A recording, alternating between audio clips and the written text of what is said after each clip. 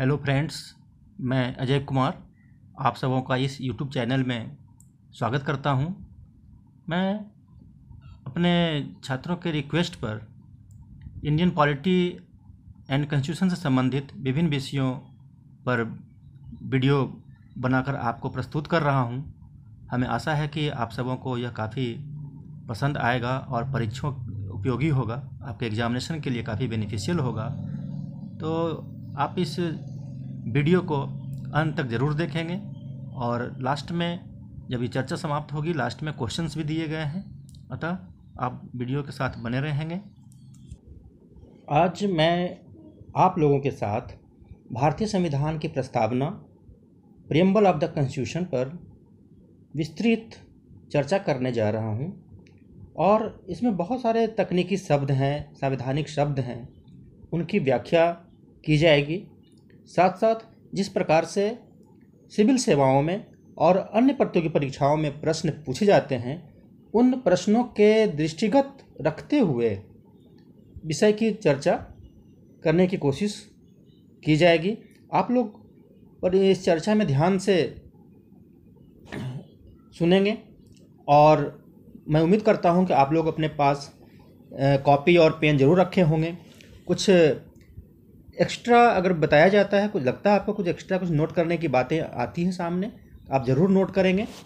तो हाँ तो मैं इस चर्चा की शुरुआत करते हुए बताना चाहता हूँ कि भारत संविधान की प्रस्तावना, जैसा किसी भी पुस्तक के प्रारंभ में आप देखते हैं कि इंट्रोडक्शन या प्रीफेस या परिचय भूमिका का समावेश होता है। इसी प्रकार भारतीय संविधान भी एक कलेक्शन ऑफ़ लॉ के मद्देनज़र एक पुस्तक है, एक महत्वपूर्ण पुस्तक है। इस पुस्तक के आगे भी प्रेम्बल यूज़ किया गया है, प्रस्तावना का प्रयोग किया गया है। तो प्रस्तावना का शाब्दिक अर्थ है परिचय, भूमिका। प्रेम्बल का शाब्दिक अर्थ introduction preface preface of the constitution और द ये जो प्रस्तावना है, पहली बार, सबसे पहले कहाँ प्रयोग किया गया था? प्रश्न आते हैं कि प्रस्तावना का प्रयोग सबसे पहले किस देश के संविधान में किया गया था? तो आप देख रहे हैं कि प्रस्तावना का प्रयोग सबसे पहले अमेरिकी कॉन्स्टिट्यूशन में किया गया। First to begin with the preamble ना, सर्वप्रथम अमेरिकी संविधान प्रस्तावना को सम्मिलित किया गया था। और आगे एक और प्रश्न आते हैं कि नाना पालकी वाला के बारे में देख रहे हैं आप कि identity card of the constitution उन्होंने कहा है। इसको संविधान का परिचय पत्र। पालकी वाला ने संविधान का परिचय पत्र कहा। ऐसा बेसिक इन्फॉर्मेशन है। इसके आगे आप देखेंगे कि प्रस्तावना का जो आधार है, वो कहाँ से है, कहाँ पर आधारित है, किस विषय वस्तु पर आधारित है तो इस संबंध में भी प्रश्न पूछे गए हैं। इसलिए मैंने समझा कि इसका भी डिस्कशन करना ज़रूरी है। प्रस्तावना पंडित नेहरू के उद्देश्य प्रस्ताव पर आधारित है। उद्देश्य प्रस्ताव that is objective resolution preamble is to Indian constitution is based on objective resolution drafted and moved by the Pandit Nehru and adopted by the constitution constituent assembly और इसमें डेट भी आपको याद रखना है कि नेहरू ने उद्देश्य प्रस्ताव अपना तेरह दिसंबर 1946 को प्रस्तुत किया था और इसी पर हमारी प्रस्तावना आधारित है। ये काफ़ी इंपॉर्टेंट है, इसको ज़रूर आप याद रखेंगे। आगे, प्रस्तावना में जो टेक्स्ट हैं विषय वस्तु हैं, आप सभी लोग प्रस्तावना को पढ़े होंगे। या फिर दोबारा आप देख लेंगे। इसमें प्रस्तावना के जो शब्द हैं, उन शब्दों को आप ध्यान से जब देखेंगे तो सामने बहुत सारे टेक्निकल टर्म्स आते हैं। वहाँ पर बहुत सारा टेक्निकल टर्म आता है। जैसे, हम भारत के लोग, भारत को एक संपूर्ण प्रभुत्व संपन्न, समाजवादी पंथ निरपेक्ष लोकतंत्रात्मक गणराज्य बनाने के लिए तथा उसके समस्त नागरिकों को आर्थिक, सामाजिक और राजनीतिक न्याय, विचार, अभिव्यक्ति, विश्वास, धर्म और उपासना की स्वतंत्रता, प्रतिष्ठा और अवसर की समानता प्राप्त करने के लिए तथा उन सब में व्यक्ति की गरिमा और राष्ट्र की एकता और अखंडता सुनिश्चित करने वाली बंधुता बढ़ाने के लिए दृढ़ संकल्प होकर अपनी इस संविधान सभा में आज दिनांक 26 नवंबर उन्नीस सौ उनचास को मिति मार्गशीर्ष शुक्ल सप्तमी संवत 2006 विक्रमी को एतत् द्वारा इस संविधान को अंगीकृत, अधिनियमित और आत्मार्पित करते हैं।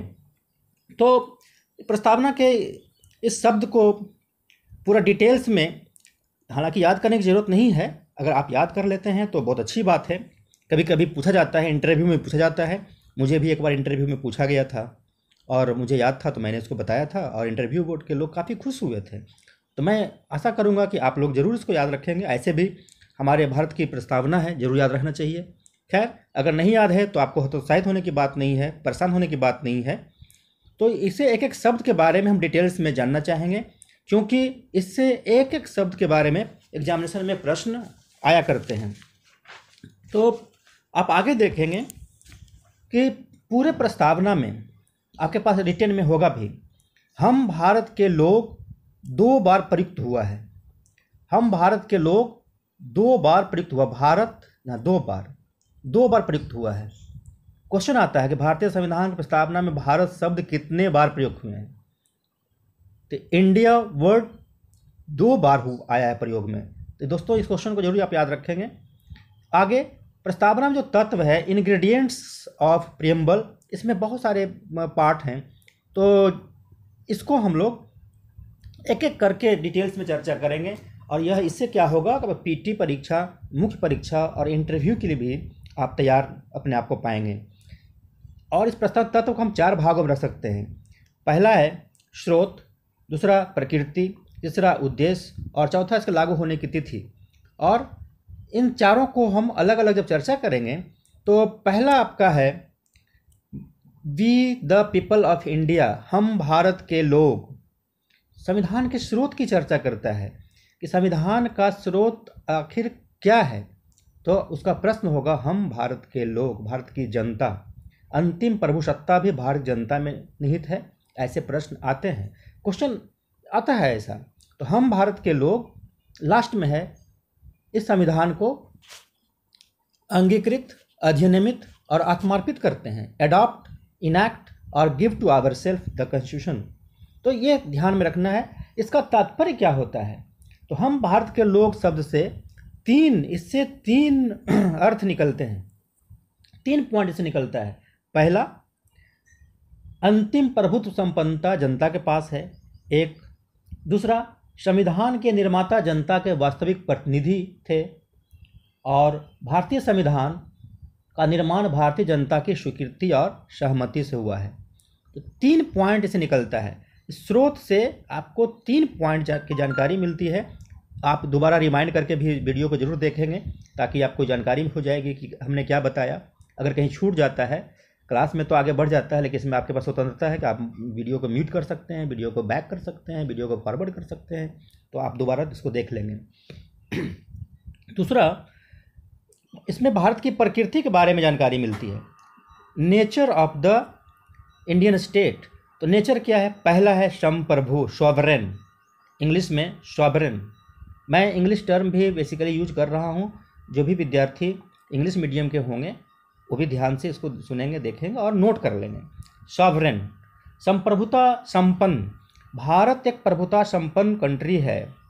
इसका तात्पर्य क्या होता है? प्रभुता संपन्न का तात्पर्य, जैसे ऐसे हम लोग भी बात करते हैं, प्रभु प्रभु का मतलब होता है ईश्वर। ईश्वर गॉड इज़ ऑल माइटी मतलब उसके ऊपर कोई है ही नहीं।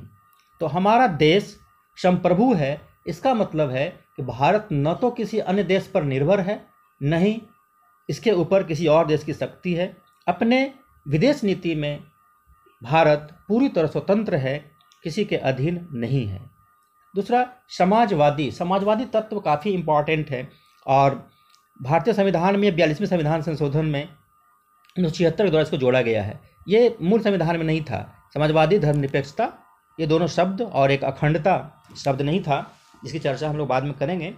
तो समाजवाद का तात्पर्य होता है, आप इसको ध्यान से सुनेंगे, उत्पादन के साधन, पूंजी, भूमि और स्वामित्व, सामुदायिक नियंत्रण में होना। मतलब समाजवादी का तात्पर्य है, सामुदायिक नियंत्रण। किसी व्यक्ति का नियंत्रण नहीं होगा, सामुदायिक नियंत्रण। इसको समझेंगे। उत्पादन के साधन, पूंजी, ज़मीन और स्वामित्व आदि सामुदायिक नियंत्रण में होंगे। इसका तात्पर्य होता है कि यह पूंजीवादी और मार्क्सवादी दोनों के बीच का कॉन्सेप्ट है समाजवाद। और भारत में जो समाजवाद है, वह लोकतांत्रिक समाजवाद है। यह ध्यान रखना है, लोकतांत्रिक समाजवाद में जनता की भूमिका काफ़ी महत्वपूर्ण होती है। इसमें गरीबी, बीमारी अवसर की असमानता को समाप्त करने का उद्देश्य होता है और पूंजी का महत्व कम और जनता का महत्व ज़्यादा होता है। और यह साम्यवादी जो विचारधारा है, उससे भी अलग है। समाजवाद में जैसे राजराष्ट्रीय समाजवाद होता है, राज्य का सारा कंट्रोल होता है, राष्ट्रीयकरण हो जाता है हर एक क्षेत्र का राष्ट्रीयकरण हो जाता है तो बात यहाँ पर नहीं है। हमारे देश में मिश्रित अर्थव्यवस्था को बनाया गया है, जहाँ सार्वजनिक और निजी क्षेत्र दोनों ही मौजूद हैं। इसलिए समाजवाद का अर्थ काफ़ी विस्तृत है, इसको ध्यान से आप समझेंगे और यदि कहीं दिक्कत होगी तो आप कमेंट में लिख सकते हैं और जैसी आवश्यकता होगी इस पर डिटेल्स में चर्चा किया जाएगा, अलग से मेंस के क्लासेस वगैरह में इसको भी विस्तार से चर्चा की जाएगी। अगला हमारा शब्द है, महत्वपूर्ण शब्द है, धर्मनिरपेक्ष सेकुलर भारत एक धर्मनिरपेक्ष राष्ट्र है सेकुलर नेशन है। इस शब्द को भी बयालीसवें संविधान संशोधन से जोड़ा गया था। तो इसका मतलब है कि राज्य का न तो कोई अपना धर्म होगा, न ही किसी धर्म का वो विरोध करेगा, बल्कि राज्य के नज़र में सभी धर्म समान होंगे, किसी भी धर्म के साथ कोई भेदभाव नहीं होगा। और इसके लिए भारतीय संविधान के भाग तीन आप लोग जानते हैं फंडामेंटल राइट ठीक है? उसमें व्यवस्था किया गया है, धार्मिक स्वतंत्रता का अधिकार का उल्लंघन किया गया है। संविधान का उल्लंघन करने पर रोक लगाने की बहुत सारी व्यवस्थाएँ की गई हैं। इसके अलावा आप लोकतांत्रिक शब्द का देखेंगे, भारतीय संविधान में जो चौथा शब्द हमारा है, लोकतांत्रिक और फिर गणराज्य। लोकतंत्र का मतलब होता है, इसको अंग्रेज़ी में डेमोक्रेसी बोलते हैं, डेमो और क्रेरिया दो शब्द से बना हुआ है। इसका मतलब होता है लोग और शासन, लोगों का शासन। मतलब भारत का जो शासन होगा, लोगों के द्वारा चुनी गई जो तंत्र है, चुने गई जो संसद है, उसके द्वारा चलेगी। चुने गए प्रतिनिधियों के द्वारा सरकार चलाई जाएगी और जो हमारी कार्यपालिका होगी, वह संसद के प्रति जिम्मेवार होगी और हमारे देश में यह नियम है कि भारत भारत की कार्यपालिका या काउंसिल ऑफ़ मिनिस्टर लोकसभा के प्रति सामुदायिक रूप से, सामूहिक रूप से जवाबदेह होते हैं। ये बहुत ही इंपॉर्टेंट है। तो आप जानते हैं कि हम लोग हर एक पाँच वर्ष के बाद अपने देश में चुनाव में भाग लेते हैं, चाहे वो लोकसभा का हो या राज्यसभा का हो, और अपने प्रतिनिधियों को चुनते हैं और इस प्रकार लोकतंत्र को हम लोग बनाते हैं। दूसरा है गणराज्य। गणराज्य republic, India is a republic country.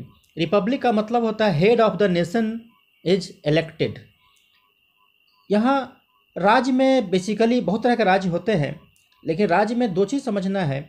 एक होता है जिसको हम लोग बात करते हैं राजतंत्र, दूसरा है गणतंत्र। राजतंत्र में राज्य का जो हेड होता है, राज्य का जो मुखिया होता है, वह आनुवांशिक होता है, जैसे आप ब्रिटेन में आप देख रहे हैं। दूसरी तरफ़, गणतंत्र की बातें हैं तो गणतंत्र में जो राज्य का मुखिया होता है हेड ऑफ़ द स्टेट होता है, वह निर्वाचित होता है, चुना गया होता है। भारत में भी हमारे देश के जो मुखिया हैं हेड ऑफ़ द नेशन है, राष्ट्रपति, वह चुन कर आते हैं। लोकसभा, राज्यसभा और विधानसभा के सभी निर्वाचित सदस्य उनका चुनाव में भाग लेते हैं और राष्ट्रपति के क्लास में मैं अलग से उसकी चर्चा करूँगा। इसके अलावा आप आगे देख रहे हैं, संविधान के उद्देश्य उद्देश्य में ये शब्द हैं, खासकर न्याय, स्वतंत्रता, समानता और बंधुत्व। यह जो शब्द है, यह काफ़ी मायने रखता है, जानकारी के लिए बहुत ही इंपॉर्टेंट है। पहला सामाजिक, आर्थिक, राजनीतिक न्याय, justice, social, economical and political justice, सामाजिक, आर्थिक, राजनीतिक न्याय। इसमें सामाजिक, आर्थिक, राजनीतिक न्याय की बात जब हम करेंगे, यह शब्द काफ़ी इंपॉर्टेंट है और लोकतंत्र की व्यवस्था के लिए यह महत्वपूर्ण शब्द है।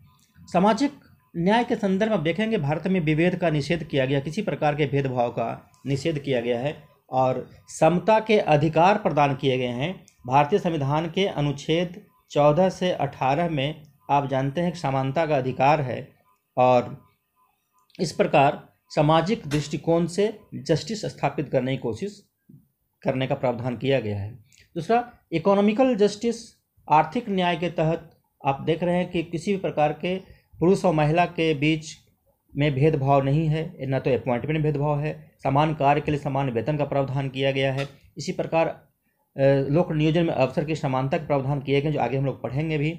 और आर्थिक दृष्टिकोण से भी न्याय मतलब जो लाभ प्राप्त होंगे, आर्थिक लाभ प्राप्त होंगे, उसका वितरण सभी लोगों तक समान रूप से होना चाहिए। आर्थिक न्याय में यह इंपॉर्टेंट शब्द है वितरण।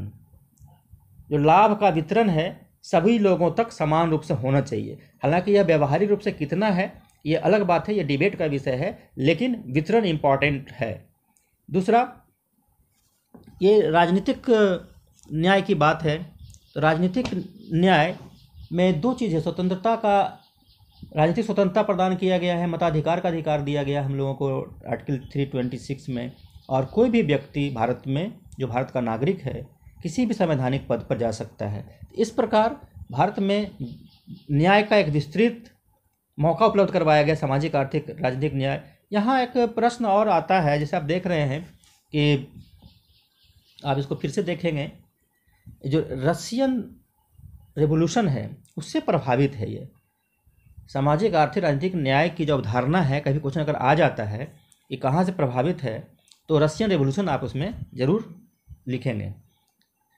और इसके साथ साथ यहाँ मैं बता देना चाहता हूँ कि देखिए, ये आगे है स्वतंत्रता, समानता और बंधुत्व लिबर्टी इक्वलिटी और फ्रेटर्निटी ये शब्द हैं, ये फ्रेंच रेवोल्यूशन से इंस्पायर्ड है।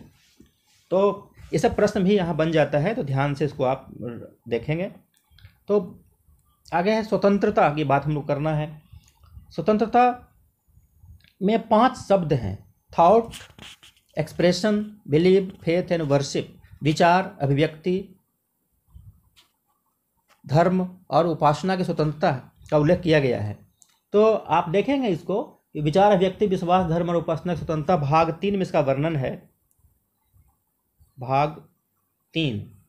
भाग तीन में आर्टिकल उन्नीस में इसका वर्णन है बेसिकली उन्नीस में स्वतंत्रता का उल्लेख किया गया है।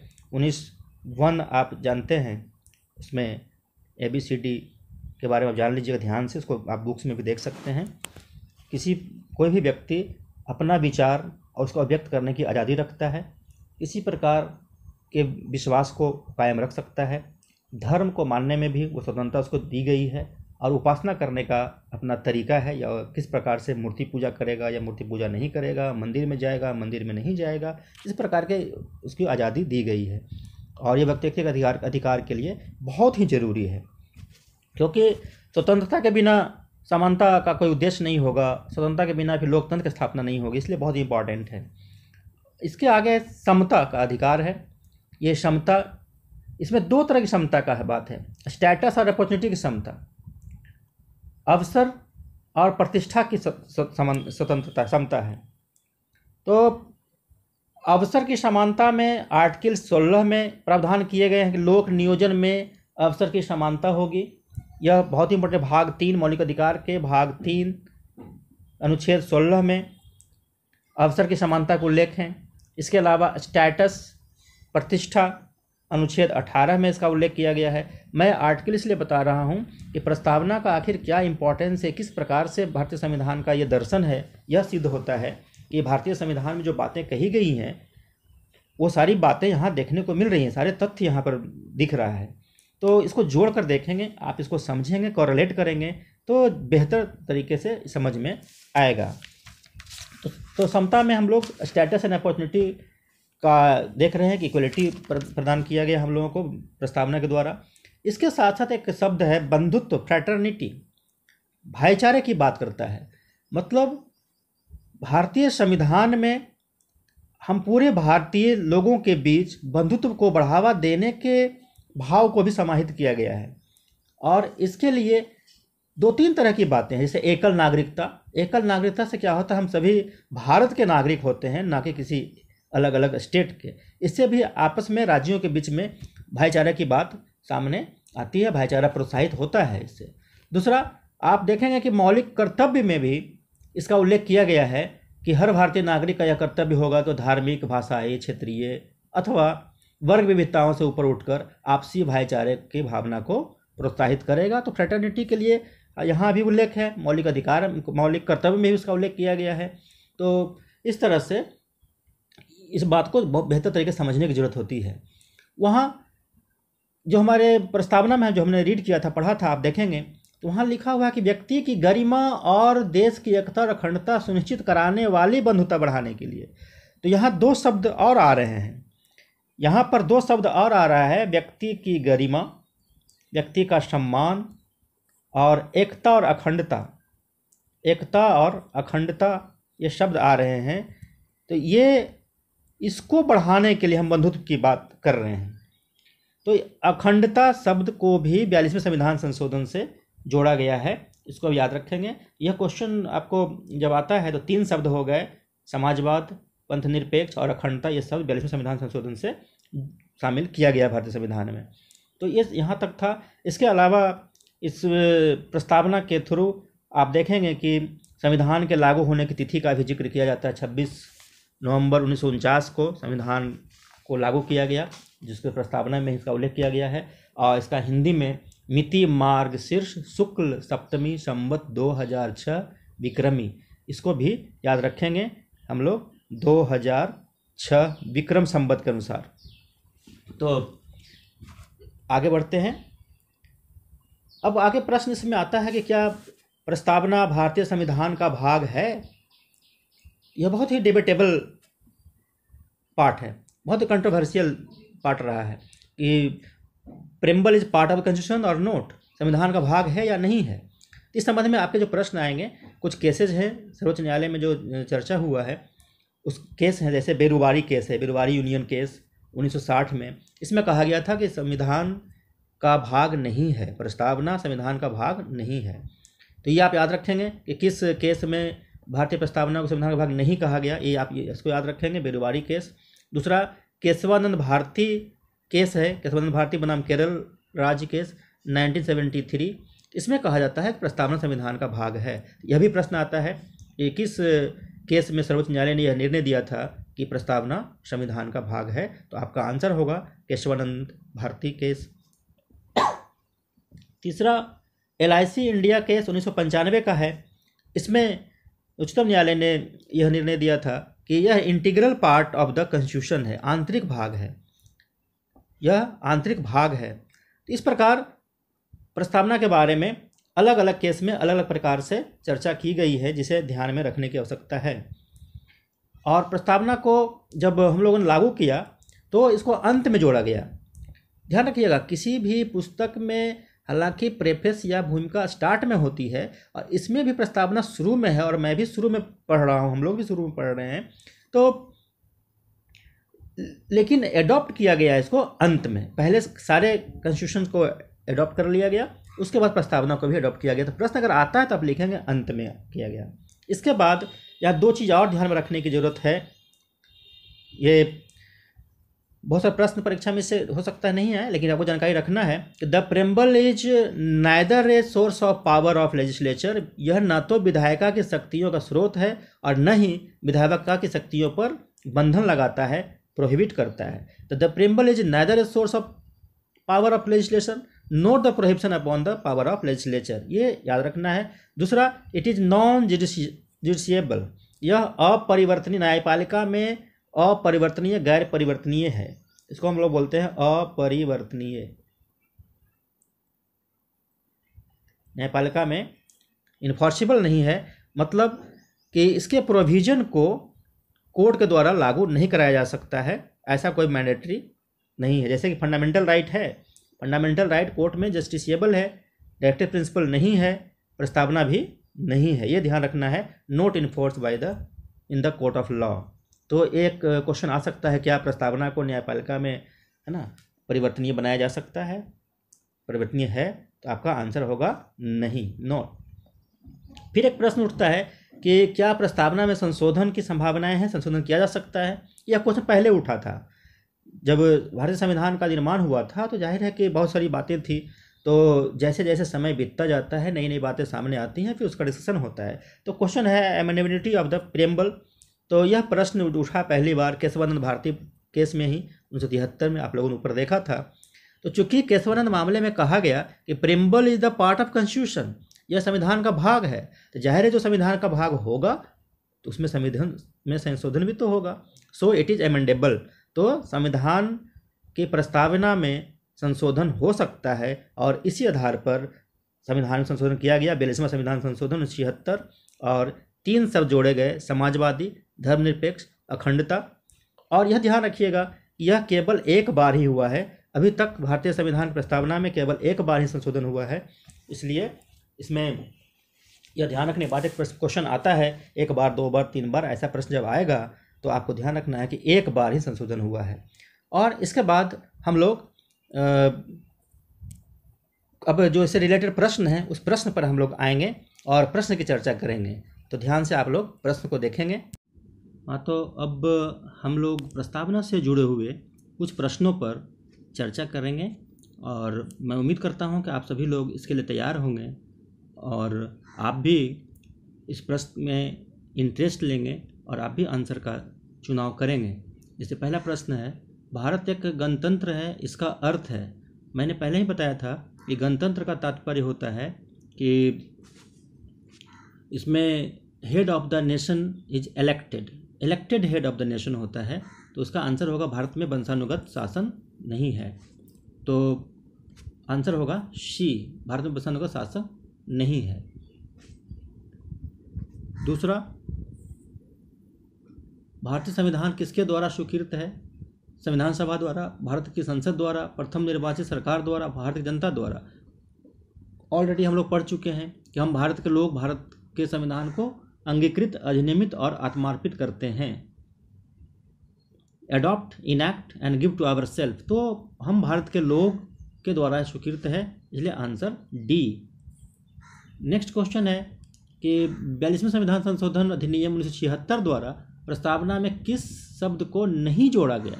तो ध्यान रखना है, इसमें धर्मनिरपेक्ष, समाजवादी तो जोड़ा ही गया, अखंडता जोड़ा गया, इसमें गुट निरपेक्ष को नहीं जोड़ा गया, इसलिए गुट निरपेक्षता यहाँ पर इसका आंसर होगा।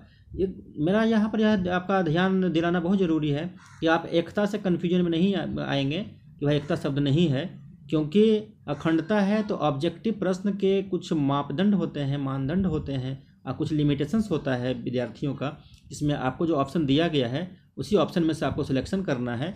इसलिए आप इससे कन्फ्यूज़ ना हो और इसको आप सही आंसर मानेंगे और, ठीक है? इसलिए धर्मनिरपेक्ष, समाजवादी, अखंडता तीनों आपका है और नहीं जोड़ा गया उसको गुटनिरपेक्ष। दूसरा पीटी की परीक्षा ध्यान और रखना है कि जहाँ पर आपको क्वेश्चन नहीं वाला आएगा ये आप परीक्षा हॉल में वैसे पेंसिल से ज़रूर इसको आप अंडरलाइन कर लेंगे गोल कर लेंगे तब आपको जल्दी से पकड़ में आएगा वो। गलती होने की संभावनाएँ कम होती है पेन स्लिप नहीं होगा। नेक्स्ट धर्मनिरपेक्ष शब्द भारत संविधान के उद्देश्य का, का भाग है कब से है? ये संशोधन वाला पार्ट है तो बयालीसवें संविधान संशोधन से इसका पार्ट है उन्नीस सौ छिहत्तर से। नेक्स्ट है कि भारत संविधान की प्रस्तावना के अनुसार भारत के शासन सर्वोच्च सत्ता किसमें निहित है? तो जनता आप लोग जान रहे हैं। नेक्स्ट क्वेश्चन है बयालीसवें संविधान संशोधन द्वारा प्रस्तावना में निम्नलिखित में से कौन सा शब्द जोड़ा गया? फिर से वो क्वेश्चन है, लोकतांत्रिक न्याय, समाजवाद, राजनीतिक, अब क्लियर कट है। आप जान रहे हैं, राजनीतिक तो यह आपका, यह नेक्स्ट क्वेश्चन है कि भारत संविधान के किस संशोधन द्वारा प्रस्तावना में दो शब्द, समाजवादी, धर्मनिरपेक्ष जोड़े गए थे? तो फिर से यह क्वेश्चन आपका आया है बयालीसवा, और इसमें आपको अखंडता को भी याद रखना है। अखंडता शब्द को भी याद रखना है। तो पढ़ते समय ध्यान रखना, समाजवादी धर्मनिरपेक्ष और अखंडता। मतलब रिपीट होता रहना चाहिए। बातों को कोरलेट करना है, जोड़ना है, रटना नहीं है। नेक्स्ट प्रश्न है कि निम्नलिखित में से कौन सा शब्द भारत के संविधान की उद्देशिका में नहीं है? तो उद्देशिका में आपका समाजवादी है पंथ निरपेक्ष है प्रभुत्व संपन्न शब्द है। लेकिन लोक कल्याण जैसा कोई भी शब्द यहाँ पर नहीं है। पब्लिक वेलफेयर जैसा कोई शब्द नहीं है। हालाँकि आपको ध्यान रखना है कि भारत एक लोक कल्याणकारी राज्य है।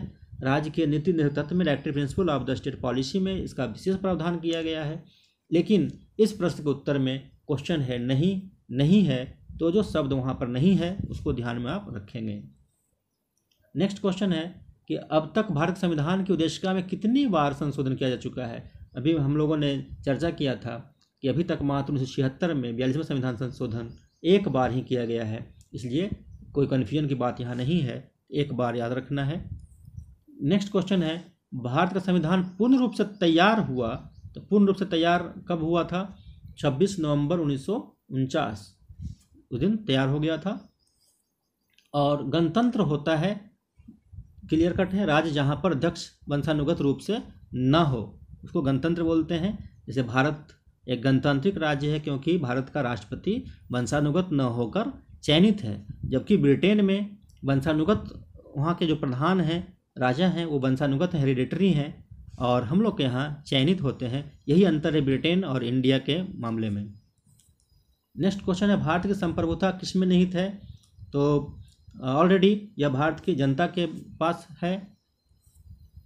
भारत का संविधान लागू कब हुआ? तो जब हम लोग संविधान की बात करते हैं तो भारत संविधान लागू होने की तिथि जो है छब्बीस जनवरी उन्नीस है, जिस दिन लागू हुआ है। और इसलिए भारत को इस दिन से हम लोग रिपब्लिक बोलते हैं, गणतंत्र बोलते हैं, इंडिया बिकम रिपब्लिक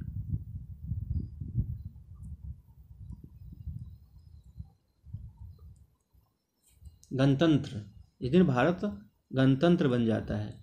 इसको आप लोग ध्यान में रखेंगे। सामाजिक समता का अर्थ है, सामाजिक समता सोशल इक्वलिटी ये सोशल इक्वलिटी की बात है। दमन का अभाव, अवसरों का अभाव, भेदभाव का अभाव डिस्क्रिमिनेशन का अभाव, यहाँ आंसर है भेदभाव का अभाव no discrimination no discrimination answer इसका होगा नो डिस्क्रिमिनेशन एक और प्रश्न है कि निम्नलिखित में से वे कौन दो शब्द हैं जिनका समावेशन बयालीसवें संविधान संशोधन द्वारा उद्देशिका में किया गया। वो शब्दों को ध्यान रखना है। हम लोगों ने पढ़ा था समाजवादी, धर्मनिरपेक्ष इसलिए यहाँ भी कोई दिक्कत नहीं है। और इसमें आप अखंडता शब्द को भी याद रखेंगे यहाँ पर। भारत है एक कैसा राष्ट्र है? द धर्मनिरपेक्ष राष्ट्र है सेकुलर स्टेट है, हिंदू राष्ट्र, हिंदू मुस्लिम राष्ट्र, इसकी कोई बात यहाँ पर नहीं है हम लोग के यहाँ। ठीक है? धर्मनिरपेक्ष राष्ट्र है। This is the correct answer Bharat में लौकिक सार्वभौमिकता है क्योंकि संविधान की प्रस्तावना प्रारंभ होती है। और आप तो सभी लोग जानते हैं, या इसका शुरुआत ही होता है हम भारत के लोक शब्दों से। इसलिए लौकिक सार्वभौमिकता इससे पता चलता है। That's all thank you thank you very much